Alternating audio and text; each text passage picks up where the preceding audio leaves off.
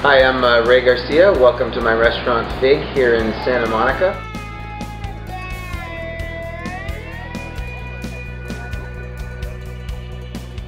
We have an incredible farmers market down the road, uh, which we go to uh, weekly, and we also uh, set up a booth there and, and, do some cooking and exhibiting of some of the, the, the great harvest that, that comes to the market.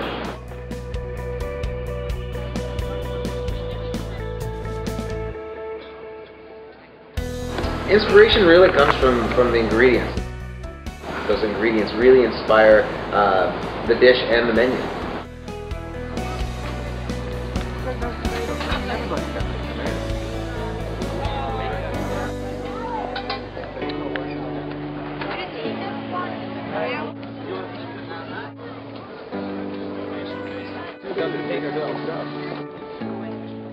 It's really great. It's really fresh, organic.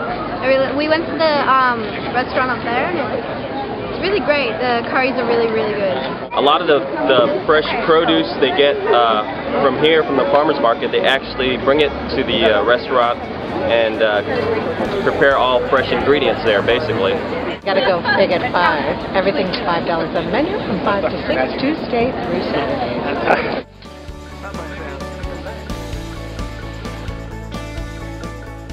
My favorite right now is these fish tacos. I'm loving them. I like the sweeter one with the apples and berries, but everyone has their favorite.